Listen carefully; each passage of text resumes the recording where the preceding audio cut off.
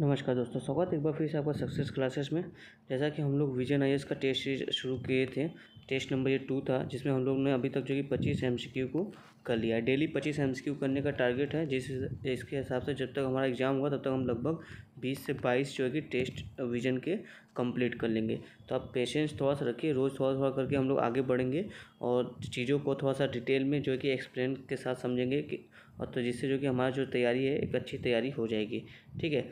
और एक आपसे एक बात कहनी थी कि जो मैं टेस्ट, यहाँ पे जो आप टेस्ट वाला वीडियो देखते हैं तो बेहतर होगा कि आप पहले जो विजन टेस्ट सीरीज़ होता है, उसको आप डेली पच्चीस एम आप बैठ के पेपर की तरह लगाइए और फिर उसके बाद जो है कि एनालिटिकल वीडियो ये वाला देखिए और समझिए कि कहाँ पर आपकी गलतियाँ हुई हैं और कौन सा स्टेटमेंट जो किस वजह से गलत था। ठीक है? उसमें आप सुधार करने की कोशिश कीजिए एक बार पहले टेस्ट लगाइए, उसके बाद ये वीडियो देखिए तो आपको बेटर समझ में आएगा। तो चलिए फटाफट से नेक्स्ट क्वेश्चन शुरू करते हैं। जो भी मित्र हमारे चैनल से नए जुड़े हुए चैनल को सब्सक्राइब कर ले और चैनल के साथ जुड़ जाएँ। तो देखते क्वेश्चन नंबर ट्वेंटी सिक्स ठीक है दोस्तों? क्वेश्चन नंबर ट्वेंटी सिक्स कह रहा है कोविड नाइन्टीन महामारी के निवारण हेतु आरबीआई द्वारा निम्न में से कौन से उपाय किए गए हैं? पहला स्टेटमेंट है आपका रेपो रेट में कमी। सेकेंड है रिवर्स रेपो रेट में वृद्धि। थर्ड है ऋण के भुगतान पर अधिस्थगन। जो कोविड नाइन्टीन के दौरान जो कि आरबीआई ने कुछ स्टेप उठाए थे ताकि मार्केट में जो कि पैसा बना रहे लोगों के पास अधिक से अधिक पैसा आता रहे ठीक है, जिससे लोग अपनी खरीदारी या ज़रूरतें पूरी करते रहे। तो इसमें सबसे पूछे ये तीनों चीज़ बातें कही गई है। इसमें से कौन सा सही है बताना है? ऑप्शन एक केवल एक और दो, बी है केवल दो और तीन, सी है एक और तीन, डी है एक एक दो, तीन। तो आप ध्यान से देखिए और सोचिए क्या होगा। तो इसका जो सही देखो पहला जो ऑप्शन कह रहा है रेपो रेट में कभी जी हाँ। अगर रे, रेपो रेट क्या होता है? रेपो रेट देखो वह जो कि एक रेपो रेट आपका एक ब्याज दर है ठीक है? न्यूनतम ब्याज दर है जिसमें जो कि बैंक जो है कि आरबीआई से लोन लेता है, पैसे लेते हैं और आरबीआई इस लोन देने के लिए उस पर उन पर जो कि कुछ ब्याज लेता है तो वही ब्याज जो कि रेपो रेट होता है। ठीक है, अगर रेपो रेट में कमी होगा, यानी आरबीआई कम ब्याज लेगा, कम ब्याज लेगा तो बैंक अधिक से अधिक आर से उधार लेंगे और जितना अधिक बैंक उधार लेंगे, उससे अधिक, उससे क्या होगा, अधिक से अधिक बाज़ार में जो मार्केट है, यहाँ पर पैसा आपका आएगा। तो ये तो सही कि अगर रेपो रेट में कमी की गई आरबीआई द्वारा। ठीक है तो इस वजह से जो है कि आप देखोगे मार्केट में पैसा आएगा तो ये ऑप्शन एक सही है। सेकंड जो है कि रिवर्स रेपो रेट वृद्धि अब रिवर्स रेपो रेट क्या होता है? रेपो रेट का उल्टा। इसमें क्या होता है कि आरबीआई जो है कि उधार लेती है बैंकों से। ठीक है? बैंक जो है कि आरबीआई को उधार देते हैं और इस पर जो कि आरबीआई कुछ ब्याज देती है बैंकों को। अगर मान लो ये ब्याज दर में वृद्धि कर दे, यानी कि बैंकों को अब ज़्यादा ब्याज मिलेगा जब बैंकों को ज़्यादा ब्याज मिलेगा तो क्या बैंक अपना पैसा मार्केट में रखेंगे? नहीं, वो आरबीआई को अपना सारा पैसा देकर जो कि ज़्यादा ब्याज से अपना इनकम करेंगे। तो अगर रिवर्स रिपो रेट में वृद्धि होता है तो मार्केट में पैसा कम आएगा। तो इसका मतलब कि ये तो कोविड नाइन्टीन का जो महामारी क्राइसिस था, इकोनॉमी क्राइसिस, उससे लड़ने के लिए सक्षम नहीं, बल्कि ये तो उसका उल्टा कर रहा है। तो ये ऑप्शन सेकेंड गलत जाएगा। पहला वाला ऑप्शन सही है तो देखो जहाँ दो गलत उसको काट दो ये कट जाएगा ये कट जाएगा ये भी कट जाएगा तो हमारा जो सही आंसर अपने आप मिल जाएगा सी। One and three. ऋण के भुगतान पर स्थगित जी हाँ छः माह के लिए आरबीआई ने गाइडलाइन जारी की थी, जिनका जिनका उधार है वो जो कि छः माह के लिए अपने ऋण को रोक सकते हैं। छः माह के बाद वो अपने ऋण का भुगतान करेंगे। जैसे आप देख जो आप कार इंश्योरेंस कार लोन होगा या घर लोन हो होम लोन होगा, ये सब चीज़ें हैं, या फिर किसी कंपनी का कुछ बैंकों से लोन है तो वो छः माह के लिए रोक गया, रुका गया था आरबीआई द्वारा। तो इसका जो सही ऑप्शन है दोस्तों, वो होगा आपका ऑप्शन सी सेकेंड वाला, गलत है। ठीक है? Question number twenty seven, next question की तरफ़ चलते हैं। क्वेश्चन नंबर ट्वेंटी सेवन आपसे लॉबिंग के संदर्भ में बात कर रहा है। आपको बताना है पहला स्टेटमेंट कर रहा है, ये दबाव समूहों द्वारा नीति निर्माताओं को अपने पक्ष में निर्णय लेने के लिए सहमत करने हेतु तो प्रयोग की जाने वाली एक तकनीक है। ओके सेकेंड का यह भारत में वैधानिक रूप से मान्य है। ठीक है, आपको इसमें जो सही चुनना है ऑप्शन ए है, केवल एक बी है, केवल दो सी है, एक और दो, दोनों डी है, न तो एक, न तो दो। तो देखो जो लॉबिंग है, आपको स्टेटमेंट पढ़ते ही समझ में आएगा, ये पहला स्टेटमेंट सही है। ये देखो, दबाव समुदाय एक नीति निर्माताओं को अपने पक्ष में, जैसे लॉबिंग क्या होता है लॉबिंग के ज़रिए कोई बिजनेसमैन है, कुछ समूह कोई है, किसी विशेष पक्ष के लिए, जैसे मान लो कोई किसान संबंधी समूह है, कोई व्यवसाय संबंधी समूह है तो वो क्या करते हैं गवर्नमेंट के गवर्नमेंट को प्रभावित करते हैं, उन पर प्रेशराइज करके, किसी भी तरह से परोक्ष या अपरोक्ष तरीके से प्रेशराइज करके उन पर प्रभाव डालते हैं, ताकि जो नीति बने, वो इनके पक्ष में बने। तो इस चीज़ को क्या बोलते हैं लॉबिंग बोलते हैं। तो पहला स्टेटमेंट बिल्कुल सही कि अपने अपने पक्ष में निर्णय लेने के लिए सहमत किया, करने के लिए इसका प्रयोग किया जाता है। और सेकंड जो करें भारत में वैधानिक रूप से मान्य जी नहीं। लॉबिंग को इंडिया में जो कि कानूनी रूप से मान्यता प्रदान नहीं की गई मतलब इस पर अभी तक कोई कानून नहीं बनाया गया। ऐसा भी नहीं कहा गया कि मान्य नहीं होगा पर यह भी नहीं बोला गया कि मान्य होगा, ठीक है? कोई कोई भी अभी तक कानून इस पर बना नहीं है। तो सेकेंड ऑप्शन मेरा गलत हो जाता है तो इसका जो सही होगा ऑप्शन ए ठीक है? ऑप्शन ए इसका सही होगा केवल एक। क्वेश्चन नंबर ट्वेंटी एट की तरफ़ चलते हैं। क्वेश्चन नंबर ट्वेंटी एट आपसे कहता है, निम्न कथनों पर विचार करें। ठीक है तो पहला स्टेटमेंट है, प्रधानमंत्री का कार्यकाल पाँच वर्ष का होता है। ओके, दूसरा स्टेटमेंट कह संविधान या प्रावधान करता है कि लोकसभा में बहुमत दल के नेता को प्रधानमंत्री के रूप में राष्ट्रपति द्वारा नियुक्त किया जाएगा। ओके और थर्ड कह रहा है, राज्यसभा के मनोनीत सदस्य प्रधानमंत्री नहीं बन सकते। ओके, आपसे पूछा प्रयुक्त कथनों में कौन सा सही नहीं है? देखो, ये ध्यान देना, सही नहीं है, जो मतलब गलत वो वाला हमारा ऑप्शन सही हुआ। देखो थर्ड वाला आपको ऑप्शन पढ़ते ही समझ में आ गया आपने जरा भी इसको लक्ष्मीकांत पढ़ा होगा तो आपको समझ में आ गया होगा कि ऐसा कभी, ऐसा तो नहीं है कि राज्यसभा से कोई मनोनीत सदस्य वो प्रधानमंत्री नहीं बन सकता। ऐसा नहीं है। कोई भी मेंबर चाहे लोकसभा का चाहे राज्यसभा का वो प्रधानमंत्री बन सकता है। तो थर्ड वाला हमारा गलत है। तो जो हमारा ऑप्शन गलत हो गया, दो, क्योंकि यहाँ पर तीन है नहीं। तो ये वाला कट जाएगा, अब बचा ए सी टी अब दूसरा देखो, पहला देखो जो स्टेटमेंट है, प्रधानमंत्री का कार्यकाल पाँच वर्ष होता है। जी नहीं, कहीं भी नहीं लिखा कि प्रधानमंत्री का जो कि कार्यकाल जो होगी, पाँच वर्ष का होगा। ठीक है प्रधानमंत्री का कोई टर्म्स निर्धारित ही नहीं है। जो हमारा पीएम होते हैं प्रधानमंत्री वो जो कि प्रेसिडेंट के प्रसाद प्रदान पर कार्य करते हैं। प्रेसिडेंट प्रेसिडेंट जो कि इन, इनको जब चाहे तब हटा सकता है लेकिन एक प्रोसीजर के थ्रू ही एक मतलब कुछ कंडीशन अगर पूरी होंगी तभी ठीक है? तो इस आधार पे मतलब जब तक इनको बहुमत प्राप्त है सदन में तब तक ये जो कि अपने प्रधानमंत्री बने रहेंगे बहुमत नहीं प्राप्त होगा तो प्रेसिडेंट इनको हटा देंगे। तो इनका कोई ऐसा एज सच टर्म्स निर्धारित नहीं कि पाँच वर्ष होगा तो ये गलत है। तो एक भी गलत है तो यानी जहाँ एक नहीं है, वो ऑप्शन काट दो हमारा बच्चा ए और डी देखते हैं कि सेकेंड वाला ऑप्शन गलत है कि नहीं। देखो सेकेंड क्या करें, संविधान यह प्रावधान करता है कि लोकसभा में बहुमत दल के नेता को प्रधानमंत्री के रूप में नियुक्त राष्ट्रपति द्वारा किया जाएगा। जी हाँ आप देखो, ये जो बोला ये गलत है स्टेटमेंट क्यों? क्योंकि संविधान में प्रावधान नहीं किया गया ऐसा।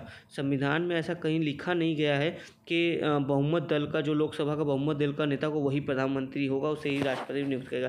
दरअसल यह जो कि संसदीय प्रणाली का मेथड है, जहाँ भी संसदीय प्रणाली होगा, वहाँ पर यही रूल है कि लोकसभा में जो बहुमत दल का नेता होता है, उसी को जो है कि प्रधानमंत्री, राष्ट्रपति नियुक्त करता है। तो इस आधार पर जो है कि इस राष्ट्रपति नियुक्त करता है। ना कि ऐसा संविधान में कहीं सच लिखा है कि हाँ ऐसा होगा तभी। ठीक है, जहाँ जहाँ संसदीय प्रणाली आप देखोगे, वहाँ वहाँ ये मेथड यूज़ होता है। तो इस आधार पर देखोगे तो बड़े ही ध्यान से इसमें स्टेटमेंट पढ़ना था, थोड़ा ट्रिकी क्वेश्चन था।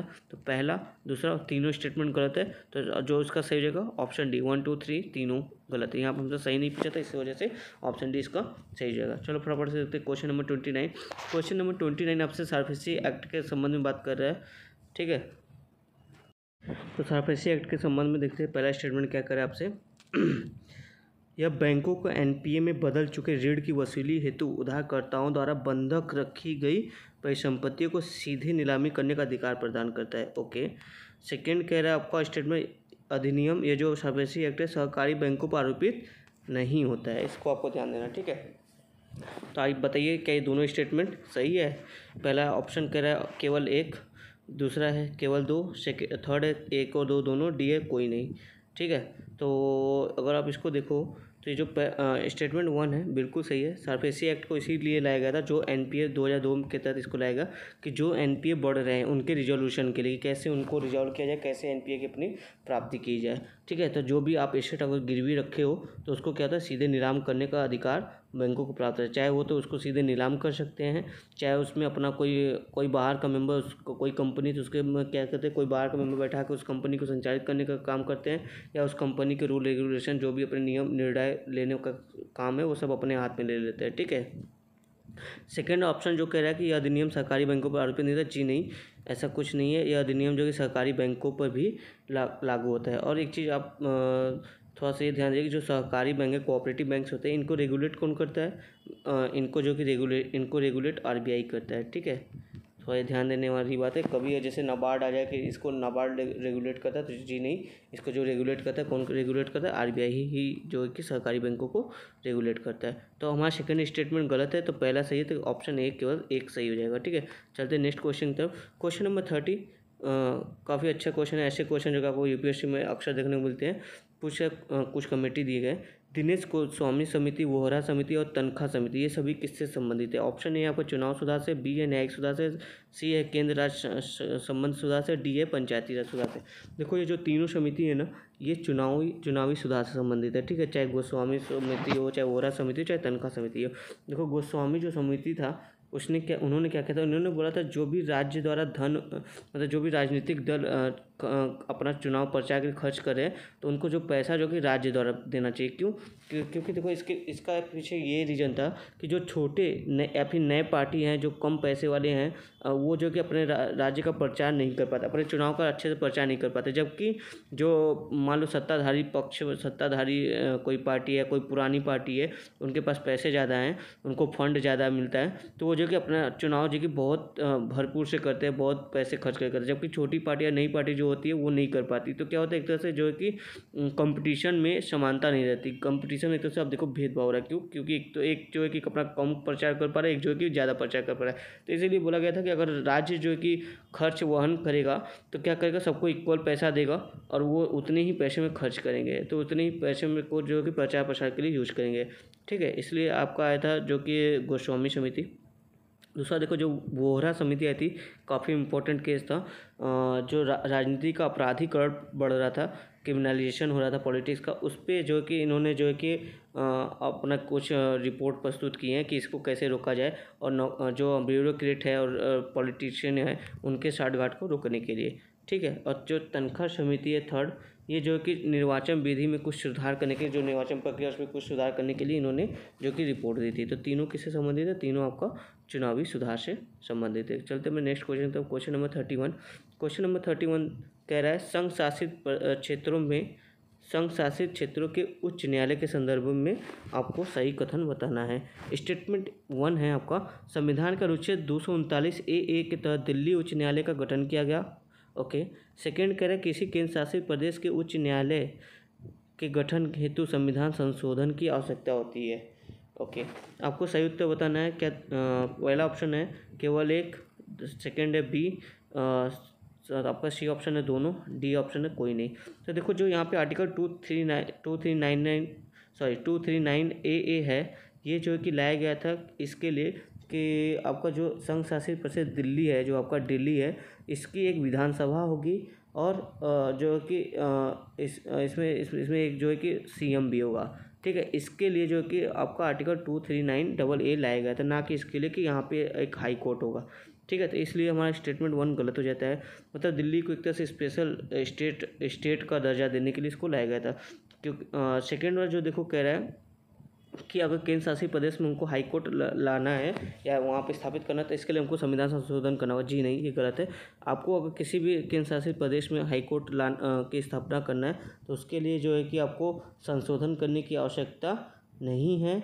आप बल्कि एक एक्ट है, उस एक्ट के तहत जो कि हाई कोर्ट की स्थापना की जा सकती है। ठीक है?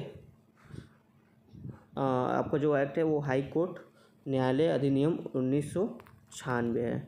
ठीक है, इसी के तहत जो है कि आप हाई कोर्ट किसी भी संसाधित प्रदेश में जो कि हाई कोर्ट की स्थापना कर सकते हैं, ना कि इसके लिए आपको संविधान संशोधन करने की ज़रूरत है। तो पहला गलत है और दूसरा भी गलत है तो इसका जो सही होगा ऑप्शन डी। ठीक है, चलते next question question number thirty two, देखो क्या कह रहे हैं। निम्न में से किन परिस्थितियों के कारण मंत्री परिषद को अपना त्यागपत्र देना पड़ता है? आपको सिचुएशन बतानी जिसके कारण मंत्री परिषद को अपना त्यागपत्र देना होता है। ऑप्शन स्टेटमेंट वन कराए लोकसभा में अविश्वास प्रस्ताव पारित होने पर ओके सेकेंड करें, लोकसभा में सदन द्वारा धन्यवाद प्रस्ताव पारित होने पर, धन्यवाद प्रस्ताव न पारित होने पर ओके थर्ड कह रहा है लोकसभा में धन विधेयक के पारित न होने पर ओके नीचे देखिए, गुट का सही प्रयोग करना है। आपको ऑप्शन ए है, केवल एक और दो बी है, एक और तीन सी है, दो और तीन डी है वन टू थ्री तो देखो जो पहला स्टेटमेंट कह रहे जी हाँ बिल्कुल सही है कि अगर लोकसभा में अविश्वास नो कॉन्फिडेंस मोशन पारित पार, पारित हो जाएगा तो मंत्रिपरिषद को प्रत्यागपत्र देना होगा। जहाँ एक नहीं आप वो वाला एलिमिनेट कर दो। सी हमारा एलिमिनेट हो जाएगा। सेकंड देखो, लोकसभा में सदन द्वारा धन्यवाद प्रस्ताव पारित होने पर जी हाँ धन्यवाद प्रस्ताव कब होता है? धन्यवाद प्रस्ताव देखो, तब होता है जब कोई नया लोकसभा निर्वाचित होता है तो उसका जो पैसा पहला सेशन होता है, उसको जो कि राष्ट्रपति जो कि अपना स्पीच देते हैं, राष्ट्रपति जो जो कि उसको संबोधित करते हैं। या तो कोई नवनिर्वाचित लोकसभा है, उसका पहला सेशन या फिर कोई नई नया साल शुरू हुआ है नई फाइनेंशियल ईयर शुरू हुई तो उसका पहला सेशन जो कि राष्ट्रपति जो कि अटेंड करते हैं, ठीक है? वो, वही संबोधित करते हैं। तो अब क्या होता है, जब राष्ट्रपति अपना स्पीच दे देते हैं तो उनकी स्पीच को दरअसल राष्ट्रपति जो स्पीच देते हैं, वो जो है कि केंद्र सरकार द्वारा लिखी गई स्पीच होती है, और उन्हीं की, उन्हीं, उसमें जो कि केंद्र, जो सरकार बनी होती है, उसी के बारे में कुछ अच्छी अच्छी अच्छी बातें होती है, उनकी अचीवमेंट की बातें। होती है, वही सब बातें होती हैं। तो क्या होता है, अब इस स्पीच को जब पूरी रहती है तो राष्ट्रपति को थैंक्स बोलने के लिए एक मोशन लाया जाता है, जो रूलिंग पार्टी होती है उस टाइम सदन में, उसके द्वारा। अब रूलिंग पार्टी अगर जो है कि ये जो मोशन होता है थैंक्स वाला मोशन ये जो है कि सिंपल मेजोरिटी से पास होता है।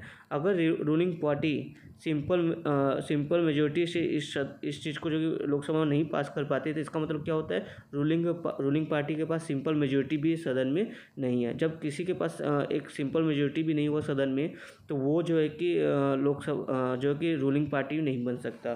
ठीक है? लोकसभा में बहुमत नहीं प्राप्त है तो आप कैसे लोकसभा में जो कि सरकार बना सकते हैं? ठीक है? तो वही है। इसी वजह से जो कि अगर धन्यवाद प्रस्ताव पारित नहीं होता है तो क्या होता है? सर आप, आपको मंत्रिपरिषद को जो कि त्यागपत्र देना पड़ता है। तो वन, टू दोनों सही है। तो ऑप्शन बी कट गया हमारा सी कट गया ए और डी बचे। थर्ड देखो, लोकसभा में धन विधेयक के पारित न होने पर। जी हाँ ये भी सही है। धन विधेयक भी जो कि गवर्नमेंट लाती है। और गवर्नमेंट अगर इसको नहीं पास कर पाती तो इसका मतलब क्या होता है? सरकार के पास मेजोरिटी नहीं है, बहुमत नहीं है। इस वजह से जो है कि मंत्रिपरिषद को त्यागपत्र देना होगा। तो ऑप्शन डी हमारा यहाँ पे सही हो जाता है। ठीक है? चलते अपने फटाफट से नेक्स्ट क्वेश्चन की तरफ़। Question number thirty three thirty three देखो हमारा जिला न्यायाधीश की नियुक्ति के संबंध में बात कर रहा है, ठीक है? पहला स्टेटमेंट आपसे पूछ रहा है, उनकी जो योग्यताएँ हैं उसके संबंध में। स्टेटमेंट नंबर वन पूछा है, वह पूर्व से ही केंद्र या राज्य सरकार के अंतर्गत किसी सरकारी सेवा में कार्यरत नहीं होना चाहिए, ओके? सेकंड कह रहा है, उसे एक अधिवक्ता के रूप में कम से कम पाँच वर्षों का अनुभव होना चाहिए, ओके? थर्ड कह रहा है, उच्च न्यायालय द्वारा उसकी नियुक्ति की सिफारिश की जानी चाहिए। आपको पूछा दिए गए सही उत्तर चुनना है। ऑप्शन ए केवल एक और दो बी है केवल एक और तीन सी है दो और तीन डी है सभी। तो देखो, यहाँ पे जो तीनों स्टेटमेंट है, बिल्कुल सही है। तीन के तीनों स्टेटमेंट सही हैं कि जो डिस्ट्रिक्ट डिस्ट्रिक्ट मजिस्ट्रेट होते हैं, उनकी जो नियुक्ति के लिए ये तीनों शर्तें होनी चाहिए। वो पूर्व से ही किसी केंद्र या राज्य में जो कि सेवारत नहीं होना चाहिए, सरकारी सेवारत नहीं होना चाहिए, उसे कम से कम पाँच वर्ष का अनुभव होना चाहिए अधिवक्ता के रूप में और हाईकोर्ट द्वारा रिकमेंड किया जाना चाहिए, ठीक है? इन्हीं आधार पर जो है कि उनको, जो कि नियुक्त किया जाता है। उम्मीद है आपको समझ में आ रहा होगा। और देखो, जो जिला न्यायाधीश होता है, इनको कौन नियुक्त करता है? राज्यपाल। जो हमारे गवर्नर होते हैं, वही जो है कि इन, इनकी नियुक्ति, पदोन्नति, सेवा शर्तें, ये सब जो कि कौन निर्धारित करता है? गवर, गवर्नर ही निर्धारित करते हैं। ठीक है? तो चलो, फटाफट से देखते question number thirty four. Thirty four आपका ग्राम न्यायालय के संबंध में बात कर रहा है। ठीक है? अच्छा क्वेश्चन है। बोल रहा है कि पहला स्टेटमेंट कह रहा है, इसकी स्थापना संबंधित राज्य विधानसभाओं की विधियों के माध्यम से की जाती है ओके सेकेंड स्टेटमेंट कह रहा है, इनके पीठासीन अधिकारी न्याय न्यायाधिकारी राज्य सरकार द्वारा उच्च न्यायालय के परामर्श से नियुक्त किए जाते हैं ओके और थर्ड स्टेटमेंट कह रहा है, ग्राम न्यायालय, फौजदारी और दीवानी, दोनों न्यायालयों की शक्तियों का उपभोग करता है, ठीक है? तो देखो यहाँ पर जो आपका पहला स्टेटमेंट है, इसकी स्थापना जो कि आपको इसकी स्थापना संबंधित राज्य विधानसभाओं की विधियों से माध्यम की जी नहीं, ऐसा नहीं है। ऐसा नहीं कि राज्य जो कि विधि बनाएगा तभी इसकी स्थापना होगी। दरअसल इसकी जो स्थापना होती है ना, वो देखो, एक सेकेंड हाँ ग्राम न्यायालय की जो स्थापना होती है, वो ग्राम न्यायालय एक्ट 2008 के अंतर्गत जो कि की जाती है। ऐसा नहीं कि इसके लिए राज्य को, राज्य विधानसभा को जो कि लॉ लानी पड़े, कोई विधि बनानी पड़े, तब होगा। ठीक है, इसी एक्ट के तहत जो कि ग्राम न्यायालय की स्थापना होती है। पहला स्टेटमेंट में गलत हो जाता है पहला गलत हो गया तो ऑप्शन एक कट गया। सी कट गया डी कट गया। हमारा आंसर देखो केवल एक ही स्टेटमेंट से आ गया। एलिमिनेशन मेथड का यही फ़ायदा होता है। बी और अगर मान लो दो और तीन हमको नहीं पता होता तो भी और एक अगर श्योर होता तो भी हम अपने आंसर पे पहुँच जाते। फिर भी दूसरा तीसरा देख लो। इसके पीठासीन अधिकारी जो है, वो न्यायाधिकारी राज्य सरकार द्वारा उच्च न्यायालय के परामर्श से नियुक्त किए थे। बिल्कुल सही है। और ग्राम न्यायालय जो कि फौजदारी, दीवानी दोनों न्यायालयों की शक्तियाँ इनको प्राप्त होती है। ठीक है? तो आप इस हिसाब देख लो, हमारा जो सही स्टेटमेंट का ऑप्शन बी सही होगा, दो और तीन। चलो क्वेश्चन नंबर थर्टी फाइव की तरफ़ चलते हैं। क्वेश्चन नंबर थर्टी फाइव कह रहा है करेंट का क्वेश्चन है, विज्ञान और प्रौद्योगिकी प्रौद्योगिकी के संदर्भ में हाल ही में सुर्खी में रहा ANITA A N I T A ये क्या है? ये आपसे पूछा है। ऑप्शन ए है आपका, एक रेडियो टेलीस्कोप है जिसे ultra high energy cosmic ray neutrino का पता लगाने हेतु उपयोग किया गया है।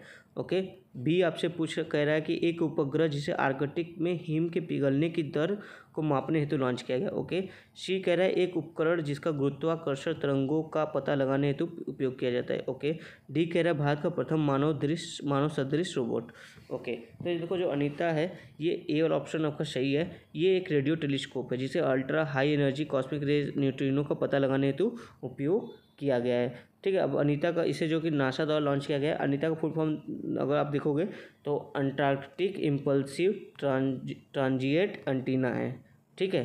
अंटार्कटिक इम्पल्सिव ट्रांजिएट अंटीना है, जिसे जो कि किसके द्वारा इसको लाया गया था? लॉन्च नासा के द्वारा इसको जो कि स्थापित किया गया था, और ये एक रेडियो टेलीस्कोप है, ये ध्यान रखना, ठीक है? क्वेश्चन नंबर थर्टी सिक्स की तरफ़ चलते हैं। क्वेश्चन नंबर थर्टी सिक्स है भारत मार्केट। भारत ये भी देखो करंट का न्यूज़ है। भारत मार्केट के संदर्भ में आपको निम्न कथनों पर विचार करना है। पहला स्टेटमेंट करा, यह समस्त खुदरा व्यापारियों हेतु एक राष्ट्रीय ई मार्केट बाज़ार है ई कॉमर्स बाज़ार है ओके सेकंड करा, यह लॉजिस्टिक एवं विनिर्माताओं से लेकर अंतिम उपभोक्ताओं तक आपूर्ति श्रृंखला में उद्योग, आद्योपांत यानी एंड टू एंड सेवाएँ प्रदान करता है, जिसमें घरेलू डिलीवरी भी शामिल है। थर्ड करा, यह वाणिज्य और उद्योग मंत्रालय की एक पहल है, ठीक है? तो देखो, इसमें जो है कि आपका पहला स्टेटमेंट बिल्कुल सही है, जो भारत मार्केट ये एक राष्ट्रीय कॉमर्स बाज़ार है, जो कि समस्त खुदरा व्यापारियों के लिए है। दूसरा भी सही है कि ये एक एंड टू एंड सेवाएँ प्रदान करता है, जिसमें घरेलू डिलीवरी भी शामिल है। थर्ड वाला देखो, गलत है। क्यों गलत है? क्योंकि ये जो कि वाणिज्य मंत्रालय द्वारा नहीं इसको जो कि लाया गया, इसको जो कि अखिल भारतीय व्यापारी संघ जो है, एक आपका C A I T confederation of all India traders ठीक है, इनके द्वारा जो कि इसको लाया गया था। थर्ड वाला हमारा स्टेटमेंट गलत है, पहला, दूसरा सही है तो जो सही जाएगा, आपको ऑप्शन ए सही होगा, ठीक है। चलो, देखते हैं नेक्स्ट क्वेश्चन तो question number thirty seven question number thirty seven है द एक रिपोर्ट है, इसके बारे में आपसे पूछा ये किसे, कौन रिलीज़ करता है, ठीक है। ऐसे क्वेश्चन आपको हमेशा यूपीएससी में एक, दो क्वेश्चन एक क्वेश्चन तो हमेशा मिलेगा कम से कम हर साल। The state of the world forest ठीक है, ये रिपोर्ट है forest biodiversity and people's report किसके द्वारा प्रकाशित की गई? ऑप्शन ए आपका यू e और एफ़ के द्वारा। ऑप्शन बी यूनेस्को द्वारा। सी है डब्ल्यू डब्ल्यू एफ़ द्वारा। डी है यूएनडीपी और एफ़ द्वारा। तो देखो जो जो रिपोर्ट है, आपका the state the state of world forest, ठीक है, इसको आप सोफो रिपोर्ट भी बोलते हो। तो in short SOFO report SOFO report को जो कि यू और एफ़ यानी ऑप्शन ए सही है। इसको जो है कि यू और एफ़ द्वारा रिलीज़ किया जाता है। ये दो वर्ष में एक बार रिलीज़ होता है ये वाला रिपोर्ट और ये ध्यान दो, अभी जो 2011 से लेकर 2020 का टाइमलाइन चला, ये जो एक दशक है, इसको यूएन ने यूएन ने जो कि जैव विविधता दिवस या बायोडाइवर्सिटी डे जो कि इसको डिक्लेयर किया हुआ है। तो ये वाला देखो, पूरा दस साल अभी ख़त्म होने को आ गए हैं। ख़त्म ऑलमोस्ट हो ही गया, दो हज़ार इक्कीस चल रहा है। तो आप कह सकते हो कि ये भी एक इंपॉर्टेंट है, आपको पता होना चाहिए कि किसके द्वारा इसको डिक्लेयर किया गया था? यूनियन यूएन के द्वारा, ठीक है? तो इसका अब चलो फटाफट चलते हैं next question question number thirty eight है। क्वेश्चन नंबर थर्टी एट कह रहा है कि केंद्रीय मंत्रिपरिषद के संबंध में आपको सही कथन बताना है, ठीक है? सेंट्रल काउंसिल ऑफ़ मिनिस्टर जो है। पहला स्टेटमेंट कह रहा आपसे मूल संविधान में मंत्रिपरिषद की संख्या से संबंधित कोई सीमा निर्धारित नहीं की गई है। ओके सेकंड कह रहा है, संतानवे संविधान अधिनियम द्वारा यह उपबंध किया गया कि संसद के किसी भी सदन का सदस्य, जिसे दल बदल के आधार पर अयोग्य घोषित किया गया, उसे मंत्री पद हेतु भी अयोग्य घोषित किया गया है। क्या ये नाइन्टी अमेंडमेंट के थ्रू बोला गया है? ये आपसे बोला है। और दूसरा, पहला स्टेटमेंट बोला कि क्या मूल जो पहला हमारा ओरिजिनल कॉन्स्टिट्यूशन बना था, उसमें मंत्रिपरिषद की संख्या निर्धारित नहीं की गई थी। ठीक है, ये दो बातें अब ध्यान दीजिएगा, आपको सही उत्तर चुनना है। पहला स्टेटमेंट है, केवल एक, बी बी है केवल दो, सी है एक और दो, दोनों, डी है न तो एक, न तो दो। ठीक है तो क्वेश्चन नंबर ये हमारा थर्टी एट है। तो देखो, इसका जो सही आंसर है पहला स्टेटमेंट बिल्कुल सही है।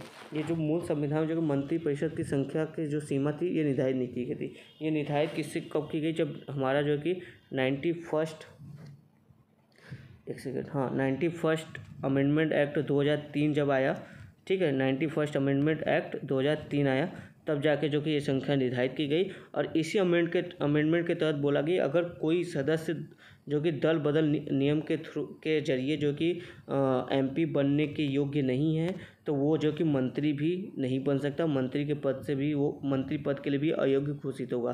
तो जो सेकेंड हमारे स्टेटमेंट का नाइन्टी सेवन ये गलत है नाइन्टी सेवन नहीं है, ये नाइन्टी वन है, ठीक है? नाइन्टी वन अमेंडमेंट के थ्रू ही ऐसा प्रावधान किया गया है। तो एक सही है, दो गलत है तो हमारा जो सही होगा ऑप्शन ए केवल एक जो है कि सही हो जाएगा यहाँ पे। चलते हैं नेक्स्ट क्वेश्चन की तरफ़। Question number thirty nine question number thirty nine कह रहा है। क्वेश्चन नंबर थर्टी नाइन आपसे कह रहा है, प्रधानमंत्री की अध्यक्षता वाली राष्ट्रीय एकता परिषद या नेशनल इंटीग्रेशन काउंसिल के में कौन कौन लोग शामिल होते हैं? पहला, केंद्रीय मंत्री। दूसरा, लोकसभा और राज्यसभा। दोनों के विपक्ष नेता। थर्ड कह रहा है, राज्य, सभी राज्यों व केंद्र शासित प्रदेशों के मुख्यमंत्री। ठीक है? तो आपको सही उत्तर चुनना ऑप्शन ए है, केवल एक बी है, केवल दो और तीन सी है, एक और तीन डी है, एक, दो तीन। देखो, इस जो आपका प्रधानमंत्री का अध्यक्षता ये जो राष्ट्रीय एकता परिषद है, इसमें जो कि तीनों मेंबर जो कि शामिल होते हैं। केंद्रीय मंत्री भी होते हैं, लोकसभा और राज्यसभा के विपक्ष के नेता भी होते हैं, सभी राज्यों के केंद्र शासित प्रदेश के मंत्री होते हैं। इसके साथ साथ देखो जो राष्ट्रीय दल के नेता है, वो होते हैं, जो राज्य स्तर के दल के नेता है, वो भी शामिल होते हैं। ठीक है, कुछ पत्रकार होते हैं, वो भी होते हैं, कुछ विशेषज्ञ होते हैं, किसी सब्जेक्ट को लेकर वो भी होते हैं। ठीक है, ये क्या होता है, ये किसके लिए लाए गए थे? इसके लिए लाए गए ताकि एक हारमोनी पूरे देश में बनी रहे सही सुरता जो, एक सेकेंड जो सही सुरता का भाव है, वो भी जो कि बना रहे पूरे देश में। और जो है कि हमारे देश में जो कि शांति, भाईचारा, ये जो कि भाव बना रहा है, ठीक है? जैसे दंगे उंगे होते हैं और जो कि हेट स्पीच होता है, इन सबको रोका जाए, इन सब के प्रभाव को कम किया जाए, ठीक है? इसके लिए जो कि ये आपका काउंसिल का गठन किया गया था, ठीक है? इसका गठन कब हुआ था? नाइनटीन सिक्सटी वन में और ये ध्यान देना इसका, इसके जो हेड होते हैं, जिसको, जो इसको अध्यक्ष होते हैं, वो जो कि पीएम होते हैं। हो सकता है आपसे ऑप्शन में होम मिनिस्टर लिख दिया जाए तो वो गलत होगा। पीएम ही इसके जो कि हेड होते हैं। क्वेश्चन नंबर फोर्टी की तरफ़ चलते हैं। Question number fourteen question number forty है, देखो। आपको शहरी स्थानीय निकाय, राज्य के लिए एक अधिनियम गठित किया गया है। एक सेकेंड क्वेश्चन नंबर फोर्टी हमारा है। देखते हैं फोर्टी क्वेश्चन क्या कर रहा है। निम्नलिखित में से कौन से शहरी स्थानीय निकाय राज्य सरकार के अधि, एक अधिनियम द्वारा गठित किया गया है? ठीक है ये शहरी स्थानीय निकाय है। पूछा इसमें से कौन सा जो कि राज्य सरकार जो कि अधिनियम के द्वारा गठित किया गया है। तो पहला है छावनी बोर्ड को सेकेंड है टाउनी टाउन एरिया कमेटी को थर्ड है पोर्ट ट्रस्ट। इसमें से देखा आपको पूछा सही उत्तर बताना है ऑप्शन ए है केवल दो और तीन बी है एक और दो सी है केवल तीन डी है केवल दो। तो देखो, जो आपका छावनी बोर्ड है, ठीक है, ये क्या होता है, नगर पालिका के प्रशासन से संबंधित जो कि एक बोर्ड होता है, जिसका गठन किया जाता है, जिसको कि छावनी अधिनियम दो हज़ार छः के तहत जो कि केंद्र सरकार द्वारा गठित किया जाता है, ठीक है। किसके द्वारा? केंद्र सरकार द्वारा। और केंद्र के ये जो डिफेंस मिनिस्ट्री होते हैं, उनके अंतर्गत जो कि ये कार्यरत अपना कार्य करता है, ठीक है? तो इसे जो है कि आप देखो, जो छावनी बोर्ड है, इसे जो कि राज्य सरकार द्वारा गठित नहीं किया जाता। तो हमारा एक वाला स्टेटमेंट गलत है तो बी ऑप्शन हमारा कट जाएगा, ठीक है? अब देखो, जो टाउन एरिया कमेटी है ना टाउन एरिया कमेटी को जो जो है कि छोटे शहरों जो स्मॉल सिटीज़ होते हैं, उन वहाँ पे प्रशासन या एडमिनिस्ट्रेशन एडमिनिस्ट्रेशन के लिए जो है कि इसका जो कि इस प्राधिकरण का गठन होता है और इसको जो कि राज्य सरकार ही जो है कि जो स्टेट गवर्नमेंट होती है, वही जो है कि इसका गठन करती है। ठीक है? और ये जो राज्य द्वारा ही पूरा संचार अब ये क्या काम करती है? इसका देखो, कुछ छोटे छोटे काम होते पूरे शहर का काम पूरा सारा काम नहीं देता शहर का, कुछ छोटे छोटे काम, जैसे सड़कों पर जो कि लाइटिंग की व्यवस्था होनी चाहिए, ठीक है? सड़क ठीक ठाक होना चाहिए, जल निकासी की व्यवस्था सही होना चाहिए, ये सब चीज़ें जो कि ये काम करता है, ठीक है? और देखो, इसका मतलब ये सेकेंड वाला हमारा स्टेटमेंट सही है, ठीक है? पहला गलत है, क्योंकि केंद्र सरकार द्वारा गठित होती है सेकेंड वाला सही है तो हमारा जो है कि ऑप्शन बी गलत हुआ था। सेकंड सही है तो कौन सा बचता है? ये वाला गलत हो गया। बचता है ए और डी, ठीक है? तो पोर्ट ट्रस्ट, देखो, पोर्ट ट्रस्ट जो कि केंद्र सरकार द्वारा गठित किया जाती है इसे राज्य सरकारें गठित नहीं करती है। तो तीन भी गलत होगा तो हमारा जो सही ऑप्शन होगा ऑप्शन डी केवल दो सही होगा, ठीक है? तो चलो क्वेश्चन नंबर फोर्टी वन की तरफ़ चलते हैं। क्वेश्चन नंबर फोर्टी वन हमारा है, जो ये हमसे कह रहा है, निम्न से किन प्रस्तावों को पारित कर किसी मंत्री की निंदा की जा सकती है, ठीक है? किसी मंत्री की अगर हमको निंदा करनी तो किस किस प्रस्ताव को पारित कर सकते हैं? पहला है विशेषाधिकार प्रस्ताव सेकंड है निंदा प्रस्ताव थर्ड है ध्यान, ध्यानाकर्षण प्रस्ताव। आपको उत्तर चुनना है, ए है केवल एक और दो, बी है केवल दो और तीन, सी है एक और तीन, डी है एक दो तीन। अब बताइए इसमें से कई, सही आंसर क्या होगा? देखो जो विशेषाधिकार प्रस्ताव होता है ना, इसके ज़रिए जो कि आप जो कि किसी मंत्री का जो कि निंदा किया जा सकता है। कैसे कैसे किया जा सकता है? मान लो कोई मंत्री है, ठीक है, उसने जो कि जो एमपी होते हैं पार्लियामेंट में एमपी से जो है कि कुछ एमपी को जो कि गलत सूचना कुछ दे दी उसने कुछ इन्फॉर्मेशन मांगा उन्होंने रॉन्ग इन्फॉर्मेशन दे दी ठीक है? या फिर कोई जो है कि फैक्ट को छुपाने की कोशिश की ठीक है? तो इस सम, इस संदर्भ में क्या होगा ये जो एमपी है ये अपने विशेषाधिकार का हनन होने के संबंध में जो कि इनकी निंदा कर सकते हैं ठीक है? इन्होंने ये बता सकते हैं कि हाँ इन्होंने जो कि हमारे विशेषाधिकार का उल्लंघन किया था, इस आधार पर जो कि उस मंत्री की निंदा हो सकती है कि वो उन्होंने मतलब तथ्य को छुपाया है। तो एक तो सही है तो जहाँ एक नहीं, वो काट दो, ऑप्शन बी कर जाएगा ठीक है? बच्चा ए, सी, डी। सेकेंड, निंदा प्रस्ताव, नाम से ही पता चलता है, निंदा प्रस्ताव, ठीक है? ये जो कि मंत्री की निंदा करने के लिए आती है तो दो भी सही है। तो दो जहाँ नहीं, वो काट दो, ऑप्शन सी कट गया हमारा। देखो, जो निंदा प्रस्ताव होता है, ये किसी एक मंत्री के विरुद्ध लाया जा सकता है, या कुछ मंत्री के विरुद्ध लाया जा सकता है, या पूरे मंत्री परिषद के विरुद्ध लाया जा लाया जा सकता है, ठीक है? उनके जो उन्होंने पॉलिसी बनाई है, जो उन्होंने काम किया, उसमें अगर कुछ कमियाँ हैं, या उसको जो कि अच्छी नहीं रही हैं, जिससे नुकसान हो गया है तो उनकी, उसकी निंदा करने के लिए प्रस्ताव लाया जाता है। और तो थर्ड वाला स्टेटमेंट जो हमारा है, ध्यानाकर्षण प्रस्ताव। देखो, ध्यानाकर्षण प्रस्ताव तब लाया जाता है जब कोई सार्वजनिक हित या सार्वजनिक हित के महत्व का कोई जो है कि आकस्मिक ज़रूरत पड़ जाती है, ऐसे महत्व की चीज़ें आ जाती है, उस पर चर्चा करना ज़रूरी हो जाता है तो सारे काम को रोक कर जो कि इस प्रस्ताव को लाया जाता है, ताकि इस पर जो कि चर्चा की जाए और इस पर इस विषय पर जो कि नीतियाँ या जो भी है, बनाया जाए, ठीक है? तो इस, इससे जो कि किसी मंत्री की निंदा नहीं होती है तो तीन हमारा गलत हो गया तो वन टू सही होगा तो ऑप्शन ए सही होगा डी भी गलत हो जाएगा। ठीक है? उम्मीद आपको समझ जाएगा तो फोर्टी का जो सही आंसर है ऑप्शन ए चलते फोर्टी सेकेंड के आंसर पे क्वेश्चन पे। फोर्टी सेकेंड हमारा क्वेश्चन करा है, राज्य विधान परिषद के संदर्भ में आपसे क्वेश्चन पूछा है, ठीक है? पहला स्टेटमेंट है, एक बटे तीन सदस्य जो है कि स्थानीय निकायों के सदस्यों द्वारा निर्वाचित होते हैं, ऐसा पहला स्टेटमेंट कह रहा है। क्या ये सही है? सेकेंड कह रहा है, एक बटे छः सदस्य कम से कम तीन वर्षों से स्नातक रहे और राज्य में निवास करने वाले व्यक्तियों द्वारा निर्वाचित होते हैं, ओके?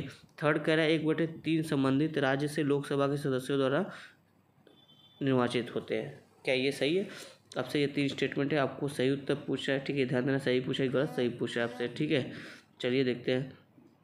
तो ऑप्शन ए है, केवल एक बी है, केवल एक और दो सी है, दो और तीन डी है, एक, दो, तीन, ठीक है? तो अब देखो पहला स्टेटमेंट जो है इसमें कह रहा है कि एक बटे तीन सदस्य स्थानीय निकायों से चुने जाते हैं। ठीक है? जो ये पहला स्टेटमेंट बिल्कुल सही है। एक बटे जो जो कि राज्य विधान परिषद होगा जिस राज्य में, वहाँ पे उसका एक बटे तीन मेंबर कहाँ से स्थानीय निकाय, जैसे नगर पालिका हो गया, जिला पंचायत होगा, और भी जो ऐसे लोकल बॉडीज है, वहाँ से चुने जाएँगे उस राज्य के। ठीक है? और जो ये बोला एक बटे छः सदस्य, ये गलत है। यहाँ पे एक बटे छः नहीं, एक बटे बारह सदस्य जो कि तीन वर्ष स्नातक और राज्य में निवास करने वाले व्यक्ति द्वारा निर्वाचित होते हैं। और ये तो यहाँ पे देखो, पहला आपका स्टेटमेंट सही है सेकंड वाला गलत हो जाता है। पहला सही है सेकंड गलत है तो इस आधार पर आप देखो सेकंड गलत है तो ये कट गया, ये कट गया, ये कट गया, हमारा ए ऑप्शन सही हो गया, ठीक है? तो हमारा थर्ड हमको पता नहीं होता तो भी हम जो कि अपना आंसर पता कर लेते। फिर भी थर्ड देख लेते हैं, यहाँ पे बोला एक बटे तीन संबंधित राज्य से लोकसभा के सदस्यों द्वारा निर्वाचित। जी नहीं, लोकसभा के सदस्य नहीं होते, यहाँ पे जो कि विधानसभा, जो एमएलए होते हैं लेजिस्लेटिव असेंबली होती है, यहाँ से जो कि आपका जो कि एक बटे तीन सदस्य जो कि चुने जाते हैं, ठीक है? यहाँ पर लोकसभा कोई काम नहीं होता, ये ध्यान रखना। तो तीन वाला भी गलत है तो इसका जो सही आंसर होगा ऑप्शन ए केवल एक सही हो जाएगा हमारा, ठीक है? चलते अपने नेक्स्ट क्वेश्चन की तरफ़। क्वेश्चन नंबर हमारा फोर्टी थ्री है। ठीक है? निर्वाचन संबंधी विवादों के न्याय निर्णय हेतु अधिकरण गठित करने का अधिकार किसे है? जैसे मान लो, अगर इलेक्शन संबंधी कोई विवाद आ गया तो उस पर जो कि एक प्राधिकरण एक प्राधिकरण का गठन होगा अधिकरण मतलब अथॉरिटी का गठन होगा तो उस, उसको गठित करने का अधिकार किसको ये पूछ रहा है, ठीक है? तो ये देखो, आपका पहला स्टेटमेंट संसद को है, राष्ट्रपति को, राज्य विधानमंडल को। आपको उत्तर चुनना ऑप्शन ए केवल एक ऑप्शन बी एक और दो दोनों सी एक और तीन और डी ए केवल दो। तो जो, देखो यहाँ पे जो है कि अगर के जैसे संसद से संबंधित कोई निर्वाचन है, उसमें कोई बात है तो वहाँ पे जो कि संसद को ये अधिकार है और राज्य से, राज्य चुनाव राज्य चुनाव नहीं, सॉरी मतलब जो कि लोकल बॉडी से संबंधित कोई चुनाव का विवाद है तो उसमें जो कि राज्य विधानमंडल को गठित करने का अथॉरिटी दिया गया लेकिन राष्ट्रपति को ये अथॉरिटी नहीं दी गई तो दो, जहाँ पे वो गलत हो जाएगा, मेरा ऑप्शन ये वाला गलत हो जाएगा, ये भी गलत हो जाएगा तो इसका जो सही आंसर होगा, एक और तीन। ठीक है? ऑप्शन सी इसका सही हो जाएगा। लेकिन ये ध्यान रखा, अभी तक कोई ऐसा अथॉरिटी जो कि गठित नहीं किया गया मतलब ऐसा कुछ विवाद सामने आया नहीं जिसके लिए गठित करना पड़े हमें। ठीक है दोस्तों? ये जो अथॉरिटी गठित होती है, आपका, ये जो है कि आप देखोगे, संविधान का जो आर्टिकल नंबर तीन सौ तेईस बी है, इसके तहत जो कि इस अथॉरिटी को गठित करने का अधिकार दिया गया। ये अमेंडमेंट के थ्रू जो है कि इसको ऐड किया गया था। चलो क्वेश्चन नंबर फोर्टी फोर देखते हैं। क्वेश्चन नंबर फोर्टी फोर का है, यदि भारत में ये आपका थोड़ा सा इमेजिनेशन लेवल चेक करना चाहता है कि आप कितने अच्छे से कोई चीज़ को इमेजिन करके समझ सकते हैं, ठीक है? तो यदि भारत में प्रत्यक्ष निर्वाचन प्रणाली को फ़र्स्ट पास्ट द पोस्ट यानी सर्वाधिक वोट पाने वाले की जीत प्रणाली के समानुपातिक प्रतिनिधित्व से परिवर्तन कर दिया जाए, यानी कि जो आपका फ़र्स्ट पास्ट द पोस्ट प्रणाली है, ठीक है?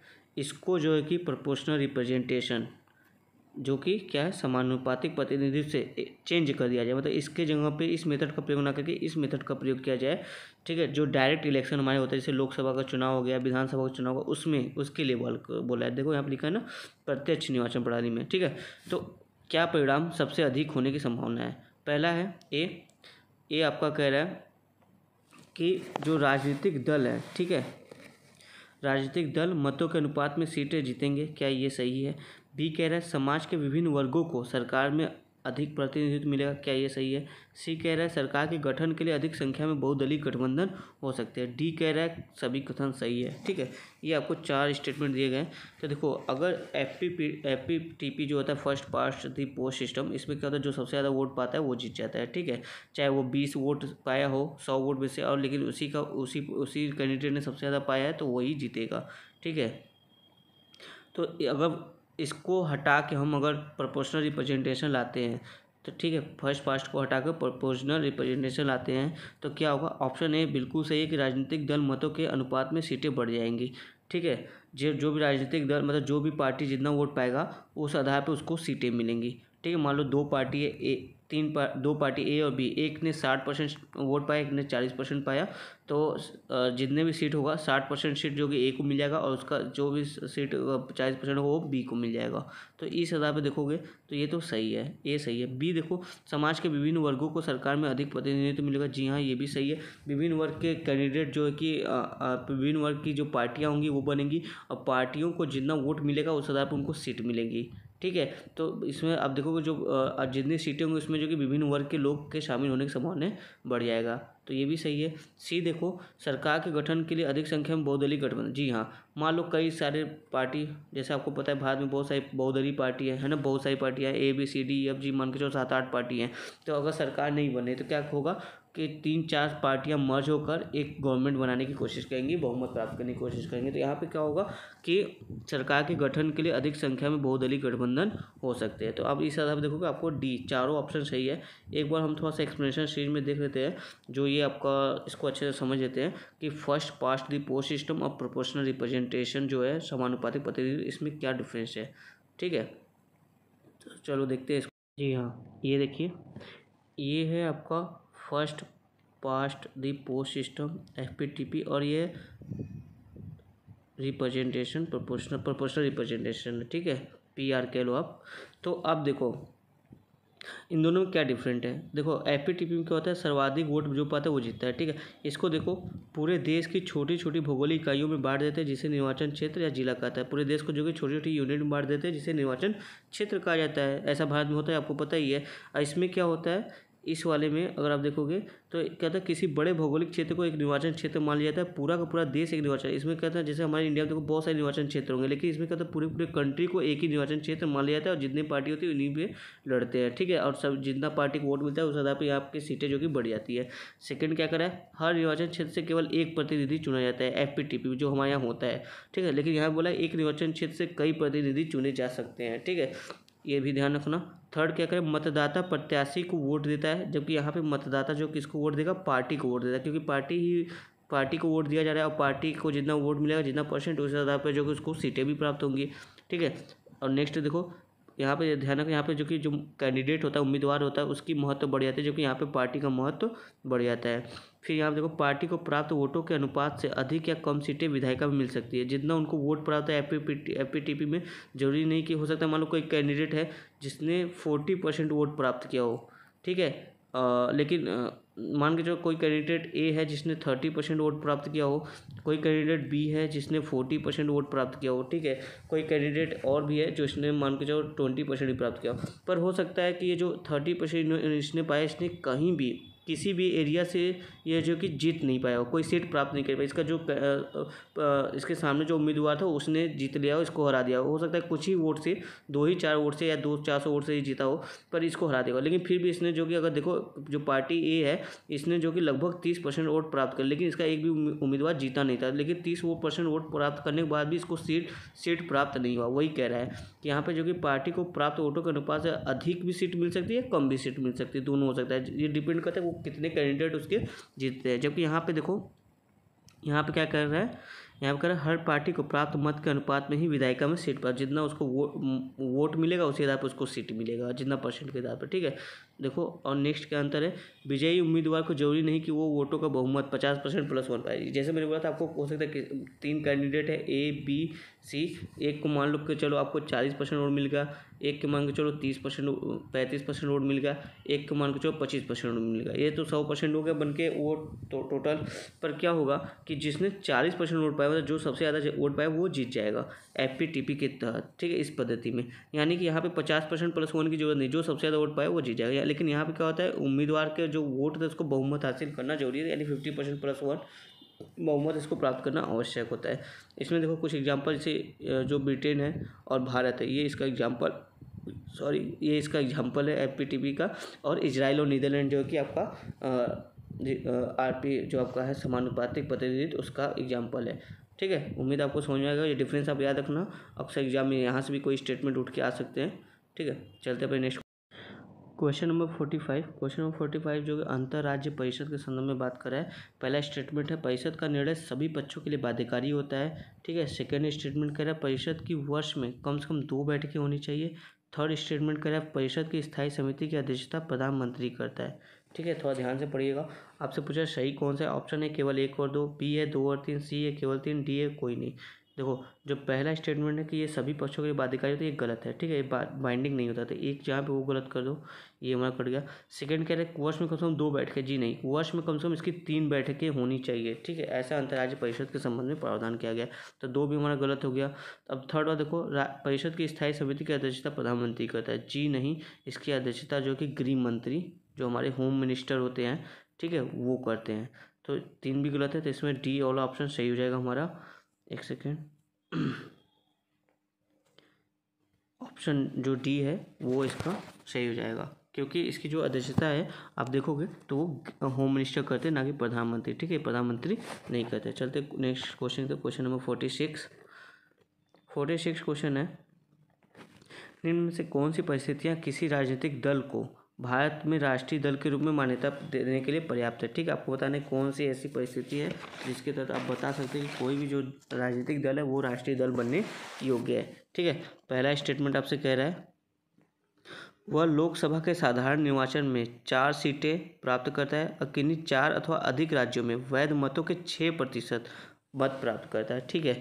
सेकेंड स्टेटमेंट कह रहा है, वह लोकसभा साधारण निर्वाचन में कम से कम तीन राज्यों से दो प्रतिशत सीटों पर विजयी होता है। ओके थर्ड कह रहा है, उसे कम से कम दो राज्यों में राज्य स्तरीय दल के रूप में मान्यता प्राप्त हो। ये तीन स्टेटमेंट का आधार पता था कि इसमें से कौन सी योग्यता है, जिसके आधार पर उसको जो कि राष्ट्रीय पार्टी का रिकॉग्निशन मिल सकता है। ऑप्शन ए है, केवल एक और दो बी है दो और तीन सी एक और तीन डी है एक दो तीन। तो देखो जो आपका यहाँ पे पहला स्टेटमेंट स्टेटमेंट है, बिल्कुल सही है। कम, उसको कम से कम साधारण जो जनरल इलेक्शन होता है, उसमें कम से कम चार सीटें प्राप्त करनी होती है। किन्हीं चार या अधिक राज्यों से, ये भी ध्यान है कहीं किसी एक ही राज्य से नहीं, कम से कम उसको चार या अधिक राज्यों से प्राप्त करनी होगी। और जितना वैलिड वोट है, उसका छः प्रतिशत कम से कम प्राप्त होना चाहिए। तीन कंडीशन पहले स्टेटमेंट में पूरा होगा, तब जाकर उसको जो कि नेशनल पार्टी का रिकोगनीशन मिलेगा। सेकेंड स्टेटमेंट भी सही है, निर्वाचन में कम से कम उसको तीन राज्यों से दो प्रतिशत सीटों की विजयी हो। जैसे मान लो कि कोई लोकसभा का साधारण जनरल इलेक्शन है तीन राज्य का जितना भी सीट होगा, तीन राज्य में, जितना परसेंट सीट है, उसका दो परसेंट सीट उसको प्राप्त होना चाहिए। ये भी सही है। थर्ड वाला जो करे उसे कम से कम दो राज्यों से राज्य स्तरीय दल के रूप में जी नहीं। उसे कम से कम चार राज्यों में जो भी राज्य स्तरीय दल का मान्यता प्राप्त होगा, तब जाके वो जो राष्ट्रीय पार्टी बनेगा। तो तीन नंबर स्टेटमेंट गलत है, पहला दूसरा सही है तो इस आधार पर देखो सही हो जाएगा हमारा ऑप्शन ए एक और दो सही है, ठीक है? क्वेश्चन नंबर फोर्टी सेवन की तरफ़ चलते हैं। फोर्टी सेवन कह रहा है राज्यसभा के सदस्यों के कार्यकाल के संबंध में आपसे बात कर रहा है, ठीक है? पहला स्टेटमेंट है संविधान ने राज्यसभा के सदस्यों की पदावधि को निर्धारित किया है, ओके? सेकंड करें इसके एक तिहाई सदस्य प्रत्येक दूसरे वर्ष सेवानिवृत्त हो जाते हैं। आपसे इसमें पूछा कौन सा सही नहीं है? ध्यान रखना, सही नहीं है पूछा ऑप्शन ए केवल एक बी है, केवल दो सी है, एक और दो, दोनों डी है, न तो एक, न तो दो। तो यहाँ इसको अगर आप ध्यान से पढ़ोगे तो आपको पता चलेगा कि संविधान में कहीं भी जो कि राज्यसभा के सदस्यों की पदावधि का वर्णन नहीं किया गया है। इसको जो कि सांसदों पे छोड़ दिया गया था कि सांसद ही तय करेंगे कि उनकी पदावधि क्या होगी या फिर कार्यकाल क्या होगा। ठीक है? और इसमें, इसके लिए क्या क्या है जो हमारा आपका है ROPA act nineteen fifty one, nineteen fifty one, यानी कि लोकसभा प्रतिनिधित्व अधिनियम उन्नीस सौ इक्यावन है, उसमें ये मेंशन किया गया है कि राज्यसभा के सदस्यों का जो कार्यकाल होगा वो छः वर्ष होगा। ये ध्यान रखना, ये संविधान में मेंशन नहीं है, ठीक है? और ये जो तो इस आधार देखो, पहला स्टेटमेंट हमारा गलत चुका। दूसरा स्टेटमेंट जो कह रहा है, इसके एक तिहाई सदस्य प्रत्येक दूसरे वर्ष सेवानिवृत्त ये बिल्कुल सही है। तो हमारा सही नहीं पूछा तो ऑप्शन ए गलत हो जाएगा, ठीक है? क्योंकि हमने देखो, गलत वाला स्टेटमेंट पूछा था। गलत कौन सा इसमें? एक वाला स्टेटमेंट है तो ऑप्शन ए हो जाएगा गलत, ठीक है? चलो क्वेश्चन नंबर फोर्टी एट की तरफ़ चलते हैं। फोर्टी एट हमारा है, निम्न में से कौन सा विषय संविधान की ग्यारहवीं अनुसूची के अंतर्गत आता है? ठीक है, आपको बता दें इलेवेंथ शेड्यूल में कौन सा विषय आता है? देखो, पहला है कृषि, सेकेंड है भूमि सुधारों के कार्यान्वयन थर्ड है आपका प्राथमिक और माध्यमिक विद्यालय की शिक्षा, फोर्थ है सार्वजनिक वितरण प्रणाली, फिफ्थ है आपका विवाह और विच्छेद। ठीक है? ऑप्शन सही चुनना है आपको। ऑप्शन ए है एक, दो, चार, बी है दो, तीन, चार, सी है एक, तीन, पाँच, डी है वन, टू, थ्री, फोर। देखो, कृषि तो है, ठीक है? भूमि सुधार के कार्यान्वयन संबंधी जो चकबंदी वगैरह, ये सब ये सब भी है। प्राथमिक माध्यमिक विद्यालय की शिक्षा ये भी देखोगे आपके, जो है कि ग्यारहवीं सूची में है, ठीक है? और सार्वजनिक वितरण प्रणाली ये भी है आपका है। विवाह विवाह विच्छेद ये जो ना आपका तो जो सेवन शेड्यूल हमारा है, उसमें जो तीन लिस्ट है तो जो समवर्ती सूची है कॉन्करेंट लिस्ट उसमें जो कि आपका विवाह विवाह विच्छेद से संबंधित प्रावधान किया गया ये ग्यारहवीं अनुसूची में नहीं है, ठीक है? तो फाइव वाला नहीं है। फाइव जहाँ आप उसको कट कर दो। और बाकी ये सब देखो सही है तो one two three four option D इसका सही हो जाएगा, ठीक है? इसका जो सही आंसर होगा फोर्टी एट का, वो क्या होगा? Option D. एक बार हम देख लेते हैं ग्यारहवीं अनुसूची में जो कि और क्या कैसे विषय हैं। एक बार थोड़ा सा अपना रिविजन हो जाएगा, थोड़ा दिमाग में बना रहे ठीक है, इसके लिए। चलो, देखते हैं। देखो दोस्तों, ग्यारहवीं सूची में यहाँ पे जो कि उनतीस विषय शामिल किए गए, फटाफट से देख लेते हैं। कृषि, जिसके अंतर्गत कृषि विस्तार शामिल है, भूमि विकास, भूमि सुधार, चकबंदी, भूमि संरक्षण भी है। फिर थर्ड क्या गया लघु सिंचाई, जल प्रबंध जल विभाजक क्षेत्र फोर्थ है आपका पशुपालन, डेयरी उद्योग कुक्कुट पालन फिफ्थ है मत्स्य उद्योग, सामाजिक वानिकी, कृषि वानिकी, लघु वन उपज, लघु उद्योग, जिसके अंतर्गत आपका खाद्य प्रसंस्करण उद्योग भी आता है। ये मत समझना कि खाद्य प्रसंस्करण उद्योग है भी तो ये आपका ग्यारहवीं अनुसूची में ये भी आता है, ठीक है? ध्यान रखना। फिर क्या है? खादी ग्राम उद्योग और कुटीर उद्योग, ठीक है? ग्रामीण आवासन है पेयजल है, ईंधन और चारा है, ठीक है? इसके अलावा और देखते हैं और क्या क्या है, जो ग्यारहवीं अनुसूची में है। सड़कें, पुलिया, पुल, घाट, जलमार्ग और अन्य संचार साधन। ये देखो, संचार साधन और जलमार्ग भी इसी में आता है, ये ध्यान रखना, ठीक है? ग्रामीण विद्युतीकरण, जिसके अंतर्गत विद्युत का वितरण भी शामिल है। अपारंपरिक ऊर्जा, यानी नवीकरणीय ऊर्जा, गरीबी उन्मूलन कार्यक्रम, ये ध्यान रखना, गरीबी उन्मूलन कार्यक्रम में शिक्षा जिसके अंत एजुकेशन जिसके अंतर्गत आपका प्राथमिक और माध्यमिक विद्यालय भी शामिल है। टेक्निकल प्रशिक्षण और व्यावसायिक शिक्षा भी इसमें है। प्रौढ़ और अनौपचारिक शिक्षा है, पुस्तकालय यानी लाइब्रेरी सांस्कृतिक क्रियाकलाप, बाज़ार और मेले, स्वास्थ्य और स्वच्छता, ये भी ध्यान रखना ये भी है। प्राथमिक स्वास्थ्य केंद्र, औषधालय भी है, अस्पताल भी है, ठीक है। महिला और बाल विकास है, परिवार कल्याण, ये भी आता है, ठीक है। समाज कल्याण भी आता है, जिसके अंतर्गत विकलांगों और मानसिक रूप से मंद व्यक्तियों का कल्याण भी शामिल है। फिर देखो सार्वजनिक वितरण प्रणाली भी आती है, दुर्बल वर्गों का कल्याण यानी अनुसूचित जातियों और अनुसूचित जनजातियों का, ये भी ध्यान रखना, और सामुदायिक अस्थियों का अनुरक्षण, ये भी है। अब यहाँ पर देखो लिखा है, विवाह विवाह विच्छेद संबंधित जो प्रावधान है वो सातवीं अनुसूची में सूची नंबर तीन समवर्ती सूची का विषय है, ना कि ग्यारहवीं अनुसूची का। चलो फटाफट से हमने ये देख लिया, चलते अपने नेक्स्ट क्वेश्चन की तरफ़। क्वेश्चन नंबर फोर्टी नाइन है घड़ियाल के संदर्भ में क्वेश्चन पूछ रहा है। पहला स्टेटमेंट है, इसे आईसोइंग की रेल लिस्ट में क्रिटिकली इंडेंजर्ड के रूप में रखा गया है। ओके। सेकंड कह रहा है, भारत में अपने प्राकृतिक आवास में घड़ियाल केवल चंबल नदी में पाए जाते हैं। ठीक है? देखो, केवल अगर ऐसे वर्ड बोला किसी एक ही पर्टिकुलर लोकेशन पे हो भी सकता है, पर ज़रूरी नहीं कि ऐसा हो। वैसा मैक्सिमम टाइम आप देखो यूपीएस में ऐसे एक्सट्रीम एक्सट्रीम वर्ड जो होते हैं, वो गलत ही होते हैं, ठीक है? तो थोड़ा यहाँ पे सावधानी रख के इस स्टेटमेंट को देखिएगा। तो यहाँ पर जो आप देखो, पहला स्टेटमेंट है, ये बिल्कुल सही है कि जो घड़ियाल है, वो क्रिटिकली इंडेंजर्ड के रूप में वर्गीकृत है, आयुष्मान के लिस्ट ठीक है? तो पहला सही हो जाता है हमारा। और जो सेकेंड ये गलत है। ये केवल भारत के, भारत में जो कि चंबल नदी में नहीं पाया जाता है, और भी नदियों में पाया जाता है। जैसे कि आपका गेरुआ देख लो, सोन नदी एमपी में रामगंगा नदी, उत्तराखंड में गंडक नदी है, और महानदी उड़ीसा में, चंबल में भी यूपी एमपी राजस्थान के एरिया में, जो कि ये पाई जाती है। और इसके पहले जो कि आपका जो घड़ियाल था, इंडिया, पाकिस्तान, नेपाल, म्यांमार श्रीलंका, इन सब जगहों पर पाया जाता है लेकिन अभी घड़ियाल केवल जो कि भारत और नेपाल में पाया जाता है ये ध्यान रखना, हो सकता है कल कोई स्टेटमेंट बोलते हैं कि घड़ियाल केवल भारत में पाया जाते हैं तो वो भी गलत है। क्यों? क्योंकि अभी भी नेपाल में पाए जाते हैं, ठीक है? तो इस आधार पर हमारे देखोगे तो जो सही होगा ऑप्शन ए केवल एक वाला स्टेटमेंट सही हो जाएगा, ठीक है? Question number fifty last question हमारा ये है आज का। देखते हैं क्वेश्चन नंबर फिफ्टी में निम्नलिखित विधेयकों में से किस या किन का संसद में पुनः स्थापन करने से पहले राष्ट्रपति की पूर्व सिफारिश की आवश्यकता थी? कहने का मतलब क्वेश्चन आपसे बस एक लाइन में पूछा है कि कौन सा विधेयक को अगर आप संसद में रखते हैं तो उसके पहले राष्ट्रपति की अनुमति की आवश्यकता होती है। पहला है धन विधेयक, दूसरा है संविधान संशोधन विधेयक, थर्ड है राज्य की सीमाओं परिवर्तन आपको सही उत्तर बताना है। देखो जो पहला धन विधेयक है, ये आर्टिकल 108 के तहत है। आर्टिकल 108 में लिखा गया है कि धन विधेयक को प्रस्तुत करने से पूर्व राष्ट्रपति की जो कि सिफारिश की आवश्यकता पड़ती है तो राष्ट्रपति की पूर्व अनुमति की आवश्यकता होती है। ये तो तो इस आधार देखो, एक तो सही है।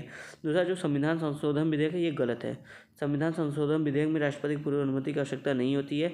थर्ड, देखो, राज्य, राज्यों की सीमाओं में परिवर्तन। जी हाँ ये बिल्कुल सही है अगर किसी भी राज्य को आपको आर्टिकल थ्री कहता है राज्य की सीमा में परिवर्तन करके उसका नाम बदलना है, उसका क्षेत्र बदलना है, ठीक है? या उसका क्षेत्र कम बेसी ज़्यादा जो भी करना है, उसके लिए जो कि आपको राष्ट्रपति की पूर्व अनुमति की आवश्यकता होती है। तो आपका जो सही स्टेटमेंट ऑप्शन होगा ऑप्शन सी होगा वन एंड थ्री सेकेंड वाला हमारा स्टेटमेंट गलत है, ठीक है? संविधान संशोधन में आवश्यकता नहीं होती। ये हो गए आज हमारे पच्चीस क्वेश्चन और, यानी टोटल अब हमने टेस्ट नंबर टू का पचास एम कर लिया है, ठीक है दोस्तों? धीरे धीरे हम ऐसे ही आगे बढ़ते रहेंगे और एग्ज़ाम तक उम्मीद है ट्वेंटी से ट्वेंटी टू जो कि टेस्ट हम लोग कंप्लीट कर लेंगे। चलिए तो आप सक्सेस क्लासेस के साथ बने रहिए। जो भी दोस्त अभी तक सब्सक्राइब नहीं किए, चैनल को सब्सक्राइब करके जुड़िए और धीरे धीरे हम पढ़ते रहेंगे। तब तक के लिए अपना ध्यान रखिए।